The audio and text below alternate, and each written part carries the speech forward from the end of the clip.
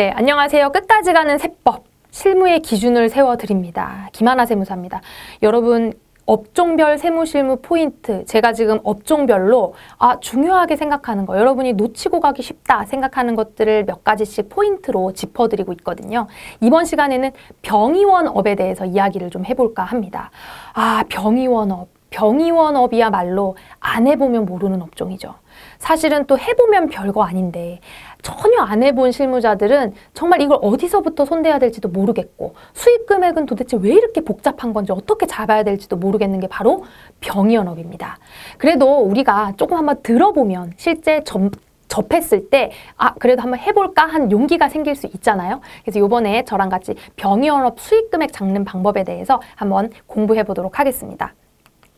일단 국세청 업종코드 연계표부터 좀 살펴볼 건데 한국표준산업분류표가 개, 그 개정이 됐고 또 그 기준 경비율 업종 코드가 개, 개정이 됐지만 병의원업에서는 크게 달라진 점은 없어요. 왜냐하면 뭐 의원이 새로 생길 만한 병과가 있진 않잖아요. 그러니까 요양병원 신설 정도 코드가 있고 지금 현재 우리가 실무상 많이 만나는 사실은 병원은 아니에요. 병원이라는 거는 종합병원, 치과병원 이런 걸 얘기하기 때문에 저희 세무사무원들이 다룰 수 있, 다루는 업종은 아니에요. 그렇기 때문에 우리 의원으로 구분되어 있는 이런 일반 의원들, 치과 의원, 한의원 이런 업종 코드들로 구성이 되어 있다 보시면 될 것 같습니다. 자, 병의연업 사업자 등록부터 한번 살펴볼 건데 일단 병의연업은 허가업종이죠. 허가업종인데 어디에 허가를 받아야 되냐면 의료기관 개설 신고라고 보건소 의학과에서 허가 신청을 먼저 받으셔야 됩니다. 그리고 이렇게 개설 신고 필증을 가지고 사업자 등록 신청을 세무서에 가서 하게 되는 거죠. 그렇죠? 세무서에 사업자 등록 신청하는 거는 다른 업종과 마찬가지로 임대차 계약서, 뭐 각종 신분증 이런 거 작성해서 가시면 되고요. 다음에 카드 단말기 신청을 해야죠. 왜냐면 병원 진료비도 카드로 결제할 수가 있고 무엇보다도 우리 병의원업은 현금 영수증 의무 발행 대상 업종입니다. 그래서 10만 원 이상 결제를 하게 되실 경우에는 무조건 현금 영수증 발행을 하셔야 되니까 단말기 신청도 같이 해두셔야 되고 네 번째로 요양기관 개설 신고를 건강보험 심사평가원에 해야 됩니다. 자 여기서 요양기관이라는 게 새로운 뭐 어떤 그 우리가 듣도 보도 못한 이런 의미를 가진 그런 단어가 아니라 그냥 병원이란 의미예요. 그러니까 건강보험 심사평가원에 병원을 개설했다 하고 신고를 하는 거예요. 이거는 왜 하는 거냐면 여러분 병원은 건강보험 가입한 가입자들이 가서 진료를 받고 어, 일부 금액을 부담, 부담을 하고 나머지 일부 금액에 대해서는 건강보험공단에서 돈을 받아갑니다. 그렇죠. 이런 진료 용역, 진료 용역들이 있잖아요. 그러니까 그런 것들을 다 정산을 하고 평가를 하고 심사를 하는 곳이 요 기관이기 때문에 요양기관 개설 신고를 별도로 해주셔야 된다는 거 그렇게 하시면 될 것 같고요. 이제 의료보건 용역의 구분을 좀 살펴볼 건데 부가가치세법상 열거되어 있는 재화와 용역의 공급은 면세 면세로 적용받을 수 있습니다. 우리 의료보건 용역이 면세로 적용을 받으려면 의료법에 따른 의사, 치과의사, 한의사, 조산사, 간호사가 제공하는 용역이어야 하고요. 그러니까 의료법에 따른 자격사한테 제공받는 용역이어야 면세예요. 이게 이제 열거된 정확한 명, 그 구분 기준입니다. 그리고 이런 의료보건 용역에 반드시 부수되어야 하는 용역이어야지만 면세입니다. 이거 말고는 다 과세예요. 자, 어? 그러면 병원인데 면세가 아니고 과세가 될 수도 있다고요? 될 수 있죠. 물론 기본적인 의료보건 용역은 면세인데 거기에 부수적인 과세 용역이 있다 그러면 우리가 이런 걸 뭐라 그러죠? 겸용사업자, 과세와 면세 겸용사업자가 될 수도 있는 겁니다. 아시겠죠? 특별히 과세되는 진료 용역이 부가가치세법상 나열이 돼 있는데 보시면 무슨 어, 성형외과라던가 어, 또 피부과라던가 뭐 안과 같은 곳에서 시행하는 이런 시술이나 수술들 같은 경우는 전부 다 과세 진료 용역이에요. 그래서 이런 게 병행, 병행되는 피부과나 성형외과는 대부분 겸용 사업자로 돌아가 있겠죠, 지금. 그러면은 사업장 현황 신고가 아니라 부가가치세 신고로 수익 금액을 확정해야 된다라는 흐름도 기억을 해두시기 바랍니다. 자, 의료보건 용역의 과세와 면세 이슈들은 늘 있어 왔습니다. 특별히 제가 한 세 가지 정도만 좀 정리를 해왔는데 어, 피부과 의사가 우리 피부과 가면 요새 그 에스테틱이라서 별도의 관리 용역을 함께 해주는 곳들이 대부분이에요. 그럼 이렇게 피부과 의사가 관리 감독하에 이런 피부 관리사가 어떤 용역을 제공하는 것 이것에 대해서는 면세되는 의료 보건 용역으로 볼 수 있을까 없을까? 이 문제가 있거든요. 없습니다. 이건 거의 다 결론이 났는데 왜냐하면 의료법에 따른 어떤 전문가가 치료한 게 아닙니다. 첫 번째. 그리고 피부과 진료 용역에 반드시 부수되어야 하는 어떤 피부 관리 용역이 아닌 거죠. 요랬을 때는 과세로 보시는 게 맞고요. 두 번째 이제 내과 의원이 판매하는 건강보조식품이 있는데 보통 무슨 뭐 어린이 소아과 이런 데 가면 영양제 막 팔고 안과 가면 막 안약 같은 거 눈에 좋은 그런 거 팔고 또 피부과 가면 화장품 막 이렇게 되어 있잖아요. 이런 것들은 사실 의료 용역에 부수되는 그런 재화 공급이라고 보기는 어렵죠. 그렇기 때문에 당연히 소매 사업자 등으로 내셔서 관리를 하셔야 되는 거고 뭐 별도로 소매 사업자를 내셔서 어, 관리를 하시거나 하는 방법도 있습니다.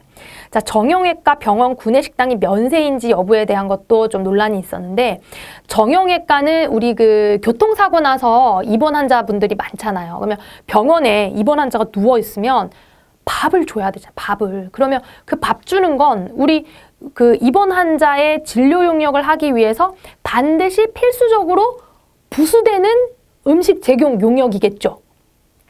밥을 안 줄 수는 없으니까. 그렇죠? 이런 경우에는 전부 다 면세가 되는 겁니다. 근데 이 그 음식 제공 용역이 뭐 단순히 병원에 근무하는 의사나 간호사를 위해서 혹은 보호자를 위해서 혹은 외부인을 위해서 혹은 외부에서 제공 음식 용역을 제공받는 경우 이런 경우는 전부 다 과세로 보시고 진행을 하셔야 되는 겁니다. 자, 그렇게 의료보건 용역에 기본적으로 면세다. 근데 면세가 아니고 과세를 겸용하는 경우에는 부가가치세 신고로 가야 된다라는 흐름 좀 살펴보시고요.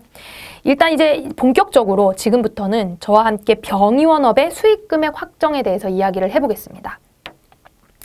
자, 병의원의 병의원의 수입의 구성은 크게 봤을 때 두 가지로 분류를 합니다. 첫 번째 보험 수입, 두 번째, 비보험 수입입니다. 자, 크게 보험 수입과 비보험 수입으로 나눌 수 있어요. 보험 수입이라는 건 건강보험공단으로부터 보험금을 받는 수입을 이야기합니다. 간단하게 얘기하면. 자, 우리처럼 회사를 다니는 사람들은 건강보험공단에 다 가입이 돼 있죠. 직장 가입자처럼. 그리고 회사 안 다니는 사람들은 지역 가입자로 다 가입이 돼 있습니다. 그게 아니라면 피부양자로라도 어떻게든지 다 가입이 돼 있어요. 무조건 건강보험공단에 그 보험으로 다 가입이 돼 있는데 제가 병원을 갔어요. 병원 진료 수입이 진료 병원에 가가지고 진료비를 결제하는데 저한테 3천 원을 달래요. 그럼 저는 제 주머니에서 카드를 꺼내거나 현금을 꺼내서 3천 원을 줍니다. 그럼 우리 병원 원장님은 저한테 진료 수입을 3천 원짜리를 제공한 걸까요?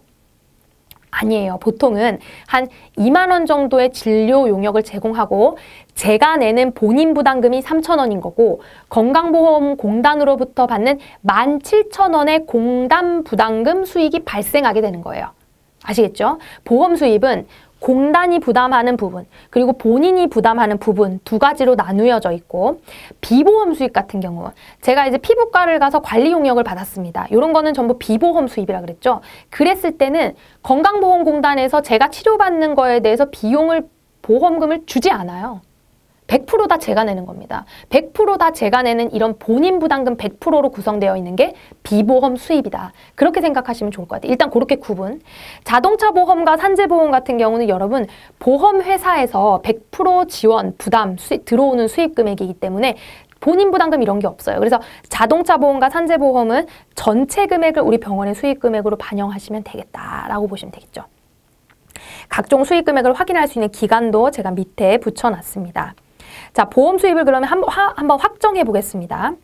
일단 보험 수입을 확정할 때 우리 보험 수입은 크게 의료보험과 의료보호 수입으로 나눠져 있어요.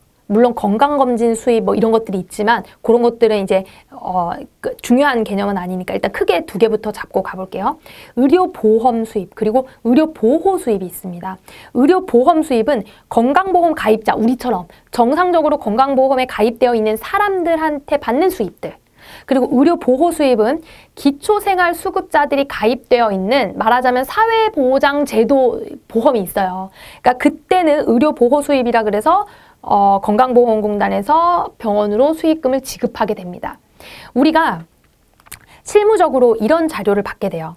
요양급여 비용 연간 지급 내역 통보서 그리고 의료급여 비용 연간 지급 내용 통보서 이런 자료를 건강보험공단으로부터 수취할 수가 있습니다. 1년에 한 번씩 보통은 한 1월 한 20일 정도 경 되면은 이게 1년 연간 지급 내용 통보서를 열람을 할 수가 있습니다. 그때쯤 이제 다 조회를 해서 우린 수치를 해서 2월 10일까지 사업장 현황 신고를 하게 되겠죠. 근데 요 이제 서식이 굉장히 우리 세법의 기준하고 좀 다르다 보니까 실무적으로 이해하기 어려운 점이 있어요. 자, 보겠습니다.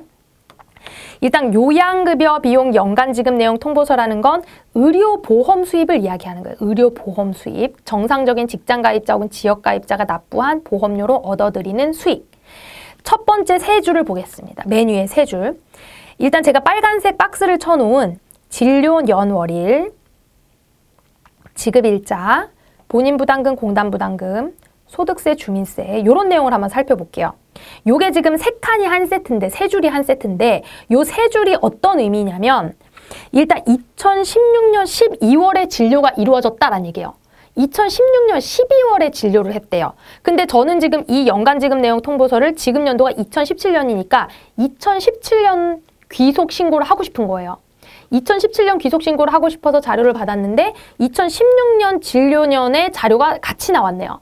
왜 그러냐면 어, 우리 진료를 진료가 발생하면 3천 원은 본인 부담금으로 제가 내고 17,000원은 공단에서 병원으로 보내준다 그랬죠.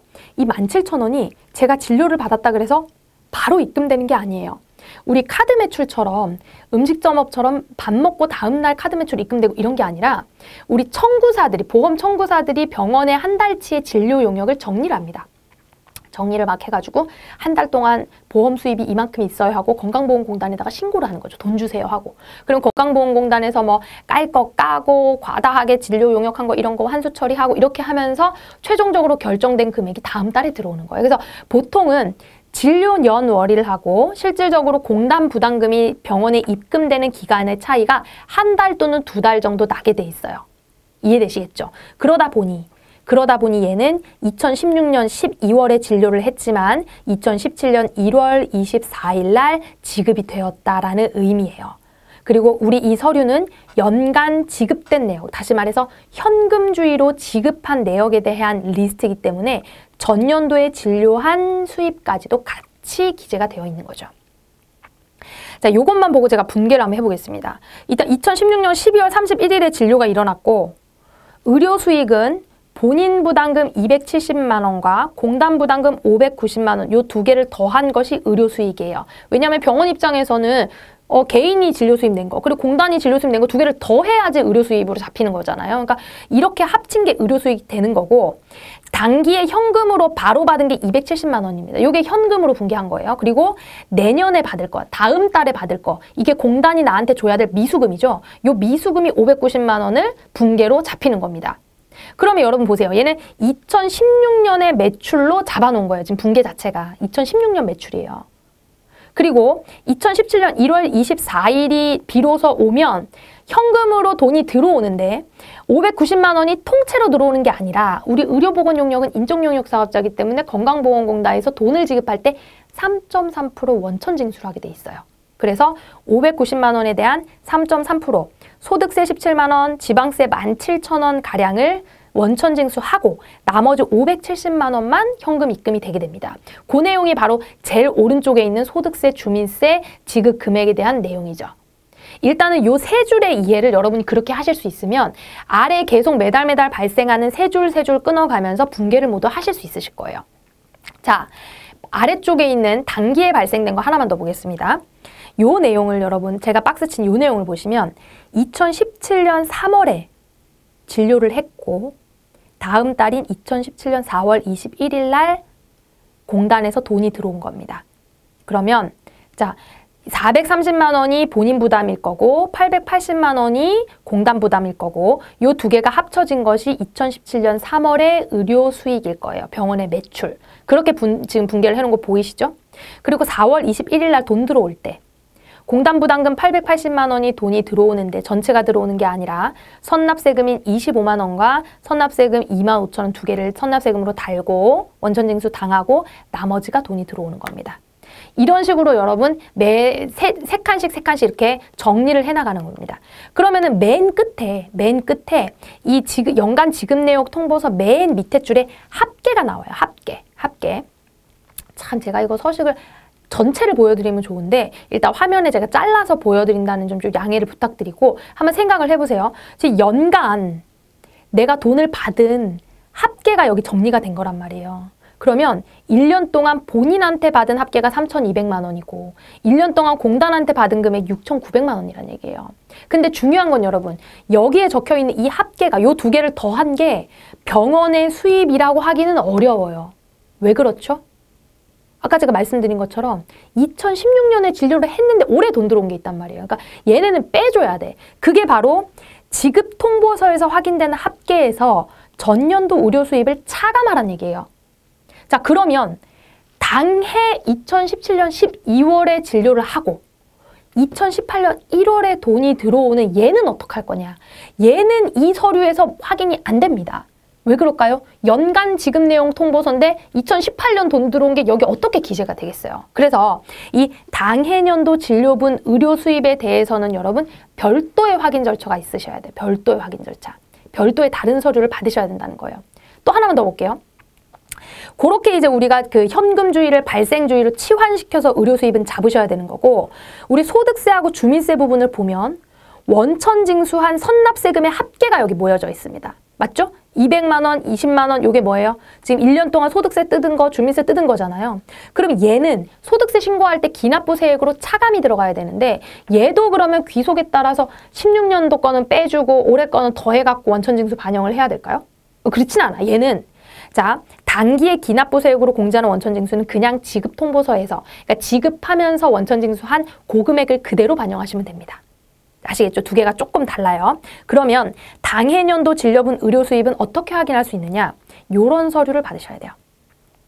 자, 이 서류는 뭐다?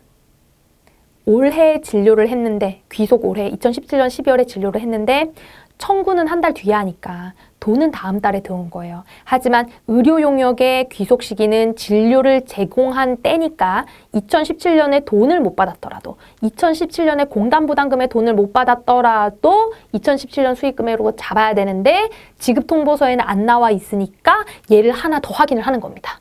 자, 지금 따라오셨죠? 제가 하는 이야기. 그렇게 따라오셔야 돼요. 그래서 이런 식으로 내가 보험 청구사가 청구한 요양급여비용 지급 통보서가 있어요. 얘는 보면 2017년 12월에 진료분에 대한 게 2018년 1월에 청구됐다 한 내용이에요. 그러니까 만약에 2017년 11월 것도 청구가 청구해서 돈이 안 들어왔다. 2017년 12월도 청구해서 돈이 안 들어왔다. 그러면 두 장 확인하셔 갖고 반영해야 되는 겁니다. 아시겠죠? 자, 그렇게 더 해야 된다. 자, 이렇게 해서 보험 수입은 확정이 끝났습니다. 그럼 이제 비보험 수입 확정으로 들어가셔야 돼요.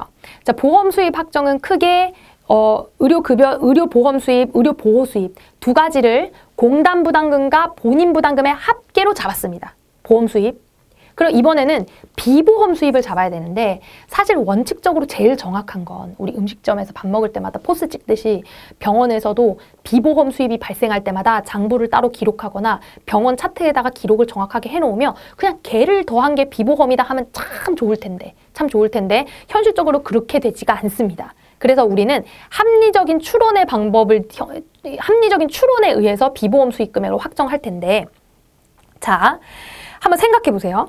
여러분 일단 내가 병원에서 낸 3천원 진료비로 낸 3천원은 낼 수 있는 방법이 다양합니다.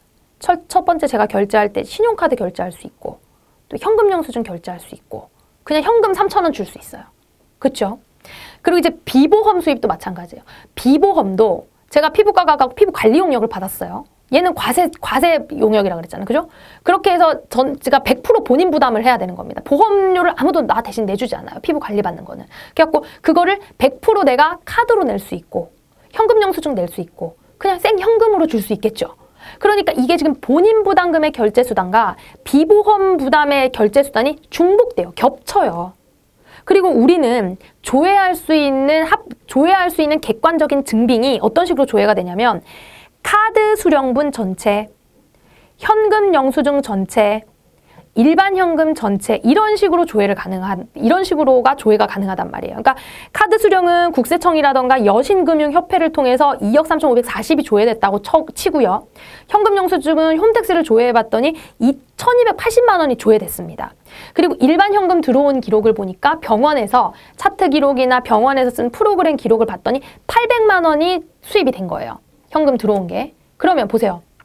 지금 2억 3,500 현금 영수증 1200, 일반 현금 800 이렇게 다 더한 여기 안에는 비보 여기 안에는 보험 본인 부담금 그러니까 보험 수입에 본인 부담금이 결제됐을 수도 있고 비보험 수입에 본인 부담금이 결제됐을 수도 있겠죠.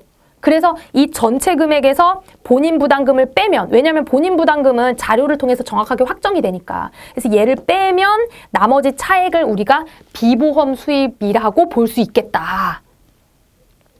이해되셨나요? 자, 그렇게 비보험 수입은 확정하는 겁니다. 자, 그러면 여기서 이제 변수는 뭐냐면 카드하고 현금 영수증은 명확해요. 국세청에서 자료가 나옵니다. 근데 이 일반 현금 병원의 기록이 얼마나 신뢰가 있느냐 이 병원에서 제공한 기록 그러니까 우리가 이제 병원에서 받아야 되는 자료가 얼마나 신뢰성이 있느냐에 따라서 물론 이제 비보험 수입이 어, 좀 달라질 수가 있어요. 그래서 그 부분은 실무적으로 여러분이 좀 경험, 경험상 터득을 하셔야 됩니다. 정확하게 기록되어 있는 병원도 있고요. 노출하지 않는 병원도 있고요. 우리가 역으로 추정을 해야 되는 병원도 있어요. 그러니까 그런 것들은 상황에 맞게끔 일단 여기에 있는 숫자가 어떻게 들어오느냐가 사실 실무적으로 좀 어려운 문제다라는 걸 좀 보시면 좋을 것 같습니다. 그래서 이렇게 병원 관리를 하시는 분들은 저처럼 이런 시트를 만들어서 관리를 하세요. 이런 시트는 일단 어, 보험 수입에 대한 자료를 싹 다 입력을 하고요. 그래서 보험 수입을 먼저 확정을 합니다. 그 다음에 이제 결제 수단에 대한 자료를 확정을 해요. 결제 수단에 대한 자료를 확정을 다 한 다음에 본인 부담 중복 매출을 차감하고 비보험을 확정시키는 거죠. 그래서 제가 빨간 박스를 쳐놓은 보험 합계와 비보험 합계를 몽땅 다 합치면 병원의 수익 금액이 결정되는 겁니다. 물론 처음에 말씀드렸던 자동차 보험이라던가 산재 보험이라던가 이런 수익 금액은 100% 그냥 다 더해서 엎어주시면 되겠죠. 자, 이렇게 해서 여러분들 보험 수입 확정까지 한번 살펴봤습니다. 그럼 우리는 이제 사업장 현황 신고를 합니다. 왜? 병원은 면세 사업자니까 사업장 현황 신고를 하는데 요때 좀 어려운 점이 있어요. 어, 병원업 같은 경우는 사업자 현황 신고서를 하면서 의료업자 수익금액 검토표라는 서식을 추가로 제출을 하셔야 되고요. 그리고 특정한 병과는 면세 사업자 수익금액 검토표라는 부표를 또 제출을 하셔야 돼요. 그게 성형외과, 안과, 치과, 피부과, 한방 이런 이제 병과들이 전부 다 제출을 하셔야 되는데 여기도 우리가 좀 기재하기가 참 까다로운 내용들이 있습니다. 살펴보겠습니다. 일단 사업장 현황 신고는 여러분들 어떻게 생겼는지 다들 실무적으로 만나보셨을 거예요. 근데 2019년 올해 귀속부터 사업장 현황 신고가 좀 간소화됐거든요. 어떻게 간소화됐냐면 원래는 이제 매출 적고 또 매출 결제 수단 적고 그리고 이제 매입 그 증빙받은 거 적고 맨 밑에 뭐가 있었냐면 그 어, 임차료, 매입액, 인건비 등 비용 내역을 산정해서 적는 게 있었어요. 근데 그게 이제 없어졌습니다. 훨씬 수월해졌죠. 항상 이제 그거를 확정하기 위해서 우리가 막 거의 결산하다시피 2월에 힘들게 했었는데 지금 이제 그게 없어졌으니까 매출 금액하고 정확한 지출 증빙 그리고 적격 증빙 수익 금액만 확인을 정확하게 하시면 되겠다. 약간 조금 마음이 가벼워졌습니다. 그렇게 좀 간소화가 됐고요. 일단은 수익금액 매출액 구성 명세 작성 보겠습니다. 이거는 사업장 현황 신고에 있고 첫 번째 장에 수익금액 구성 명세를 기재하는 건데 병의원업이 매출이 전체 매출이 어떤 식의 증빙으로 발생했느냐. 자, 아까 제가 앞에서 보여드렸던 그 표에서 보험 수익과 비보험 수익 총 합계가 매출이 되는 거예요. 그렇죠? 총 합계 매출이 2억 3천은 신용카드로 발생했고 1200은 현금 영수증으로 발생했고 나머지는 기타 매출이다. 이렇게 이제 계산이 되는 겁니다. 그죠? 기타 매출은 당연히 공단에서 온 것도 기타 매출 포함이 되는 거죠. 그러니까 그런 것들 보시면 되고 이거는 작성하는 거 뭐 표를 잘 만들어 놓으셨으면 어렵지 않으실 건데 이 의료업자 수익금액 검토표에서 차이 조정 명세 들어가는 게 좀 까다롭습니다. 이걸 이해를 잘 하셔야 돼요. 근데 근데 우리는 앞에서 현금주의 자료를 발생주의 자료로 바꾸는 방법에 대해서 이해하고 넘어왔습니다. 그게 이해가 돼야 이걸 작성할 수 있어요, 여러분. 일단 어떻게 하느냐. 첫 번째 동그라미 23번 보시면 해당 과세기간 수령금액이 나와 있죠. 해당 과세기간 수령금액이라는 걸 그냥 딱 들어도 뭐예요? 아, 2017년에 현금 들어온 걸 말하는 거구나. 그죠? 2017년에 현금 들어온 건 우리가 연간 지급 내역 통보서를 통해서 알 수 있습니다. 거기서 확인되는 본인 부담금과 건강 부담금을 적으시면 되고요. 24번은 뭐라고 돼 있냐면 직전 과세 기간 진료분 수령액이라고 돼 있어요. 이건 뭐야? 직전에 진료를 했는데 올해 돈 받은 거죠. 그죠? 그러면 직전에 치료를 했는데 올해 돈 받은 건 올해 수익 금액이 되면 된다 안 된다? 안 된다. 얘 빼야 돼요. 그래서 어, 뭘 빼야 되냐면 연간 지급 내용 통보서상에서 전년도 진료분 지급액을 빼야 돼. 아까처럼 2016년 12월 이런 걸 다 빼야 된다는 얘기예요. 그죠? 이렇게 뺍니다. 다음에 25번 해당 과세기간 진료분 미수령액. 그러니까 내가 올해 진료는 했는데 아직 청구를 내년에 해가지고 돈이 내년에 들어온단 말이에요. 그럼 이런 거는 연간 지급 내용 통보서에서는 안 적혀 있어요. 적혀 있지 않지만 단기 수익 금액으로 보고는 해야죠. 반영을 해야 되는 거죠. 그래서 얘는 별도의 자료를 받으라고 말씀드렸습니다. 단기 지급 내역 통보서에서는 확인이 불가하니까 당해 년도 진료부 청구 금액을 확인할 수 있는 지급 통보서를 주세요 하고 요청을 해, 하면 숫자를 확인할 수가 있겠죠. 자, 그렇게 해서 22번 학계가 결정되는 거예요. 그래서 건강보험과 의료급여 요 두 가지가 대표적인 보험 수, 수입의 종류라고 했습니다. 물론 이제 건강보험은 의료보험 그렇게 표시가 되는 거였어요. 의료보험과 의료급여 요 두 개가 보험 수입이었고 여기서 현금주의 자료를 발생주의로 치환시키는 조정 명세서다. 그리고 비보험, 손해보험 공제조합 그리고 기타 수입 이런 것들은 사실상 반영되는 단기의 걸 몽땅 다 반영하면 되니까 뭐 이제 특별한 경우 아니고서는 전체 다 해당 과세기간 수령 금액을 반영하시면 될 것 같습니다. 자, 어, 사업장 현황 신고에는 세 가지 서류가 들어간다 그랬어요. 일단 사업장 현황 신고 했고 지금 방금 보여드렸던 이제 수익금액 검토표 했고요. 다음에 치과 수익금액 검토 부표가 있어요. 요거는 각종 병과별로 치과면 치과, 피부과면 피부과, 성형외과면 성형외과, 한의원이면 한의원 전부 다 각각 종류별로 생긴 모양이 달라요. 생긴 모양이 달라요. 제가 지금 칠과만 샘플로 좀 가지고 왔는데 이런 식으로 작성하게 돼 있습니다. 일단 요 부표를 작성하는 목적은 우리가 앞에서 확정했던 보험 수입은 너무 명확하죠. 보험 수입은 건강보험공단에서 주는 거니까 이건 그냥 너무 명확해요. 근데 이제 이 비보험 수입에 대해서 좀 의심이 간단 말이에요. 그래서 비보험 수입을 조금 더 객관적 객, 관성 있게 좀 확인하기 위한 부표다라고 보시면 되는데 비보험 진료 유형별 수익 금액을 다 적게 돼 있습니다. 맞죠? 양가로 3번 보시면 진료 유형별 비보험 수익 금액 얘를 이제 우리 치과라 그러면 치과에서 발생하는 비보험 진료 수익 금액을 쫙 다 적어야 돼요. 이거는 뭐, 뭐 경력이 많건 적건 이런 걸 떠나서 그냥 원장님하고 얘기를 해야 됩니다. 이거 내 맘대로 적을 수가 없어요. 왜냐면 우리가 어떤 진료를 해가지고 얼마가 벌어들인지는 임의로 작성도 할 수가 없거든요. 그러니까 이건 항상 사업장 현황 신고를 마치기 전에 좀 일찍 맞춰야 돼. 그래서 좀 일찍 비보험 수입 확정한 다음에 신고서 꾸미기 전에 비보험 수입 확정하시고 원장님한테 미리 보내드려서 상의를 한 다음에 확정하고 갖고 오셔야 됩니다. 아시겠죠? 그렇게 기재하면 좋아. 이 비보험 수익 금액을 얻기 위해서 네가 가지고 있는 의료기기와 매칭이 되니?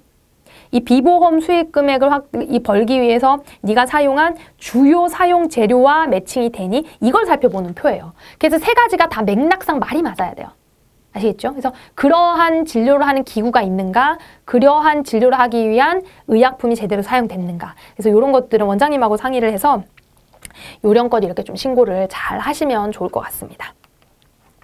자, 병의원 사업자 현황 시 신고 시 주의사항 최종적으로 정리를 한번 해보겠습니다. 일단은 총수익 금액은 건강보험 수입, 의료보, 의료급여 수입, 자동차 보험, 산재의료, 비보험 수입, 판매장려 이렇게 등등 구성이 되는 거라고 했어요. 네, 이제 크게는 보험 수입과 비보험 수입으로 나눠진다. 그 보험 수입은 건강보험공단 자료로 확정을 하고 비보험 수입은 결제 수단을 기준으로 본인 부담을 차감한 다음에 이게 우리가 좀 이렇게 뭐랄까 그 어, 합리적으로 추론을 하는 이런 상황이 벌어진다. 자, 두 번째, 의료 수입의 총 수익금의 귀속 시기는요. 진료 용역을 제공한 시점입니다. 진료 용역을 제공한 시점이기 때문에 어, 당해 진료인데 청구가 내년에 돼가지고 돈이 내년에 들어왔다 하더라도 올해 진료로 꼭 반영을 하셔야 되고 전년도 진료인데 올해 돈이 들어왔으면 얘는 또 차감을 해주셔야 되는 문제가 발생한다. 물론 이제 병의원은 건당 거래 금액 10만 원 이상 현금 연수증 의무 발행이 있으니까요. 올해부터는 20% 과태료가 부과되니까 주의하셔야 됩니다.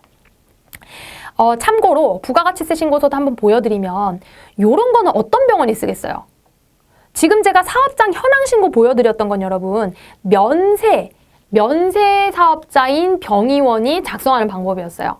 근데 이제 피부과라든가 성형외과들은 과세 진료가 발생하면서 겸용 사업자로 많이 돌아갔다 그랬죠. 겸용 사업자로 돌아가면 부가가치세 신고를 해야 되거든요. 그러면 1월에서 6월 것까지를 방금 제가 말씀드린 형태로 다 수입 확정하시면 돼요.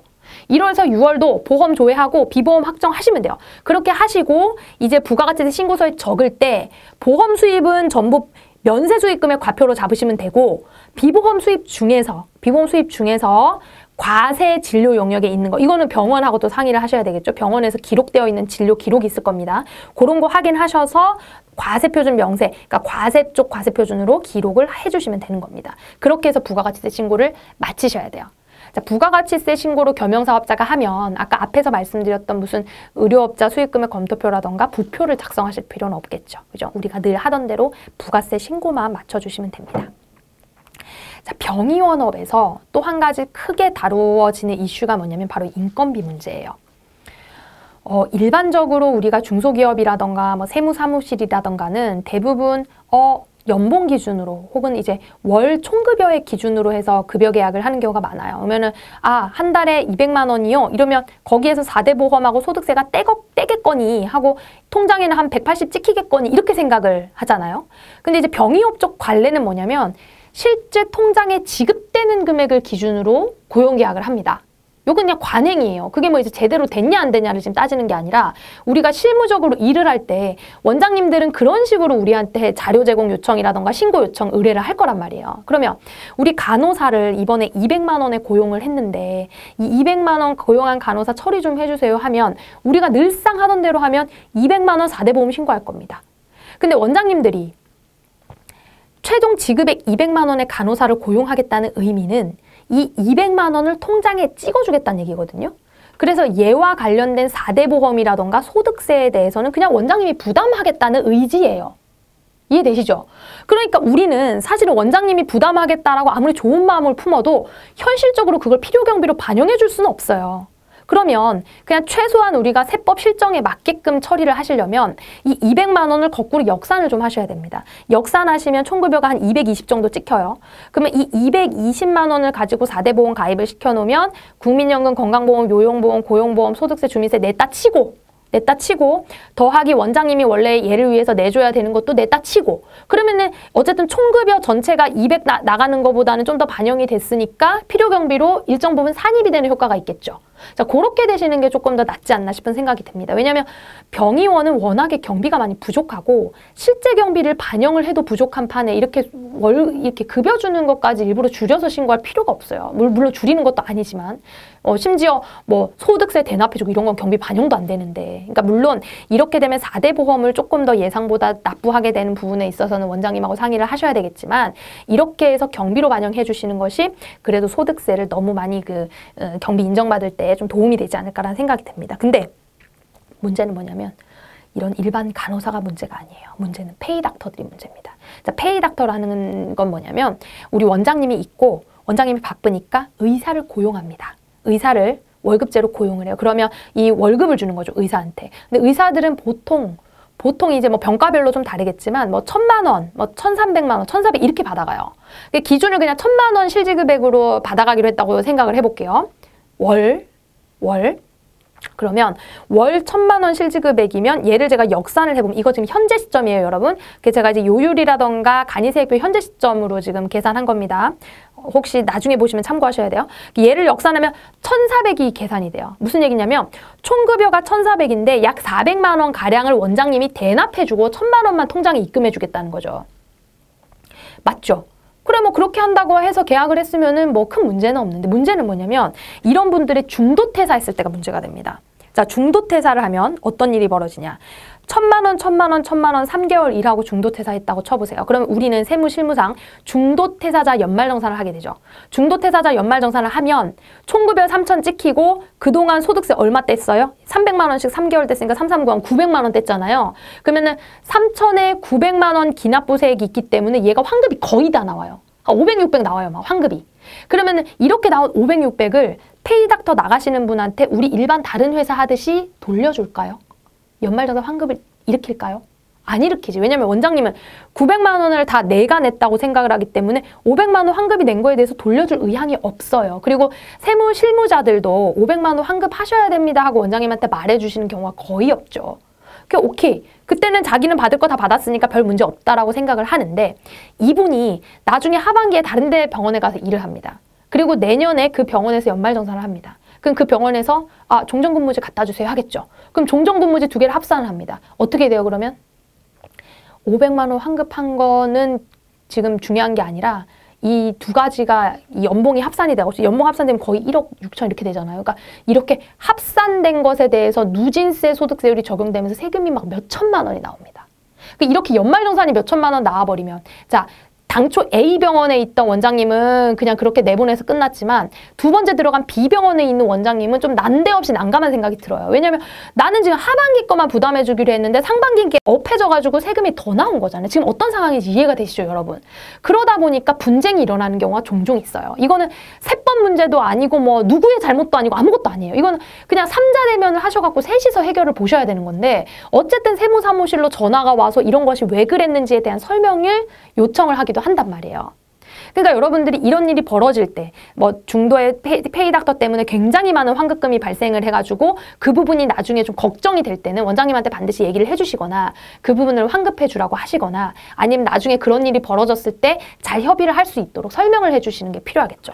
저희가 사실 뭐 세법적으로 해결해 드릴 수 있는 방법은 없어요. 막뭐 이거를 안분을 해주세요. 그러면 뭐 이제 소득세율 기준으로 안분을 해드릴 수는 있, 있겠다는 걸 몰라 뭐 있을 수는 있겠지만 그죠? 어쨌든 그런 문제가 간간히 연말정산 때가 되면은 전화가 오더라 해서 좀 말씀을 드려봤습니다.